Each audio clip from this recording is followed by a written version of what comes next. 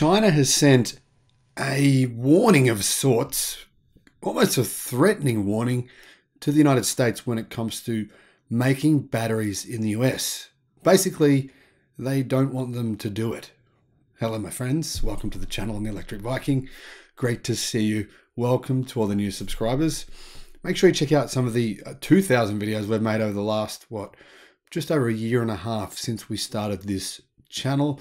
It's been amazing. There's so much going on in the industry. It's been an insane, insane last 12 months. Things have changed massively.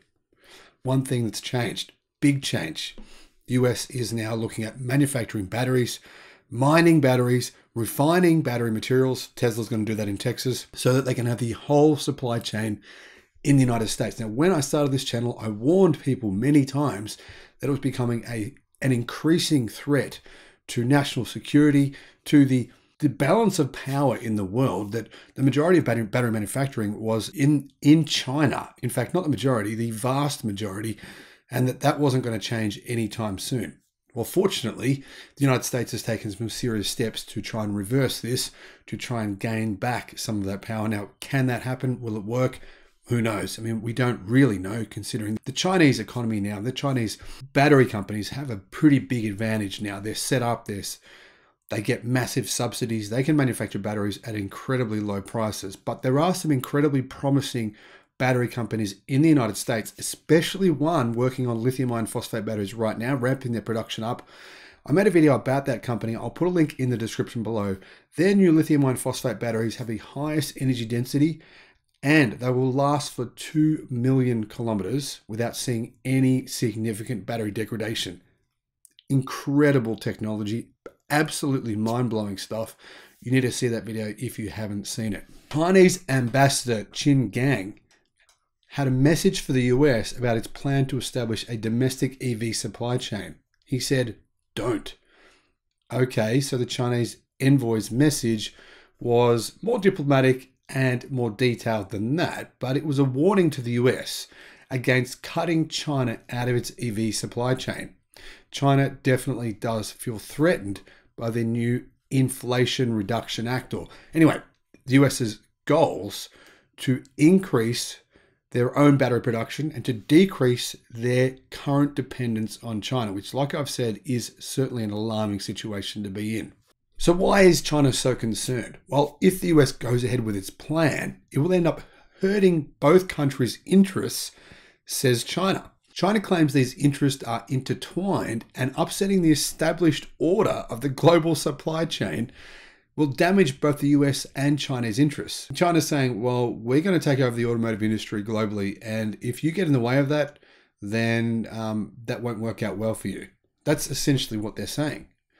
Uh, to be honest, I'm a little bit shocked that uh, they would talk this way. To me, it seems ridiculous and hypocritical, to be honest. Frankly, just bizarrely hypocritical that they would try and stop the US from manufacturing their own batteries.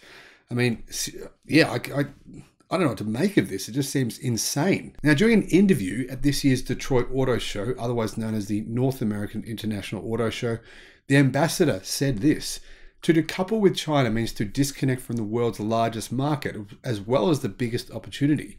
The industry chain has been relatively well established over past years, and there would be no winner if anybody wanted to intervene or even destroy that. He went on to say the electric vehicle value chain, or specifically the supply chain, is very globalized. Yeah, no, it's not. It's pretty much concentrated in China right now, and they're afraid that they're going to lose some of that if the US goes ahead with their plans. And frankly, this kind of scarcity mindset just damages the person saying it or the country he's representing. This is not a good move from China, in my view.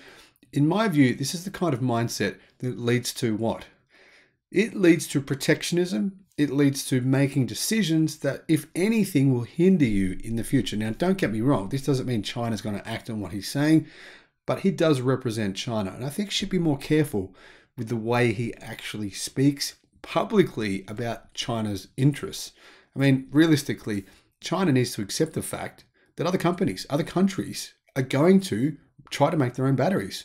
And they may, in some point in the future, try to not depend entirely upon China for their existence. That's a completely normal way to go about operating in business.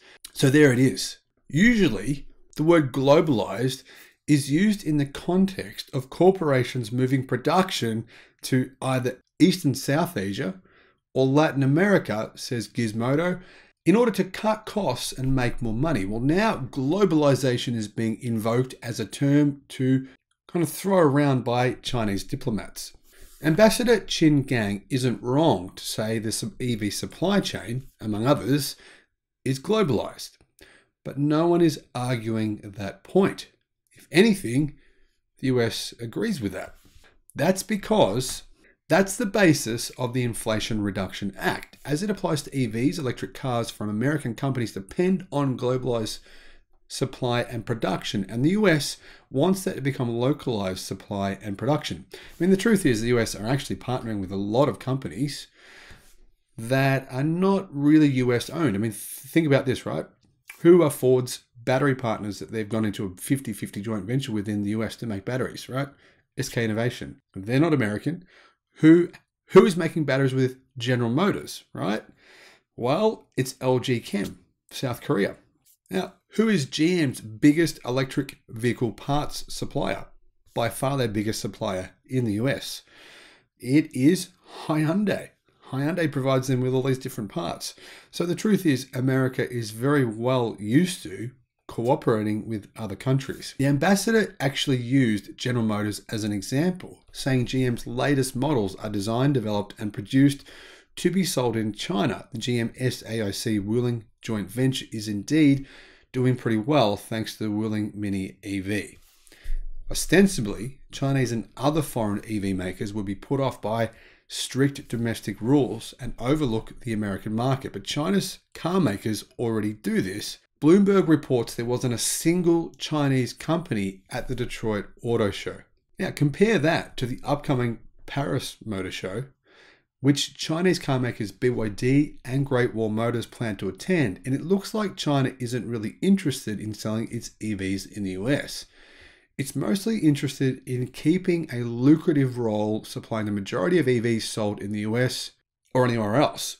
What does that mean? Well, obviously Europe is a much easier, lower hanging fruit than the United States market. For one, the US has a tariff of 25% on all vehicles sold in the US. If they're made in China, you've got to pay 25%. Now, to be fair, the China does the same thing to the US made cars. So this is not me pointing out the US is doing something to China. They're both doing it to each other. What I want to know though is what do you think about all this? What do you make of the Chinese ambassador doing this? Is, does this sound like a threat to you? Does this sound like China is concerned of losing their battery market, their hold, their global hold on the electric vehicle supply market? Let me know what you think in the comments section below. Have a great day. Bye bye.